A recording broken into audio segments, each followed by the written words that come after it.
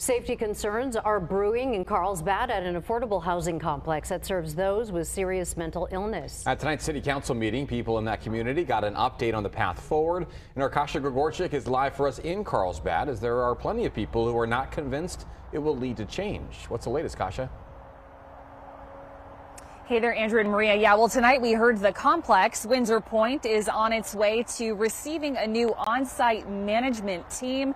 But residents here say they want to see much more action affirmed housing continues to give us the runaround. Following concerns from the city of Carlsbad, residents, even the local police chief, Windsor Pointe, continues to be at the center of scrutiny for ongoing safety and security issues. Affirmed housing completely duped the city council into funding Windsor Pointe but utterly downplaying the numerous community concerns about it. The affordable housing complex near Carlsbad Village Drive is a mix of low income and permanent supportive housing for people with serious mental illness. Issues recently reached a new boiling point when the city sent a letter to the complex owner, Affirmed Housing, demanding remedies like securing access gates, removing hazards and debris from common areas, and most importantly, a detailed staffing and security plan that involves more surveillance 24 hours a day, seven days a week. We are continuing to look into options to make improvements to the security,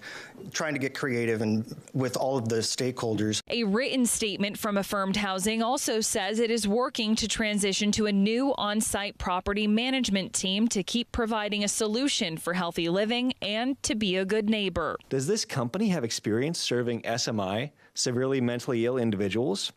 Unless Solari has adequate experience with these individuals, I don't think we're going to get a different outcome. Residents and some members of the council remain skeptical. It doesn't require creativity, as Jonathan said. We aren't making macrame, we're asking for security. It requires money and integrity.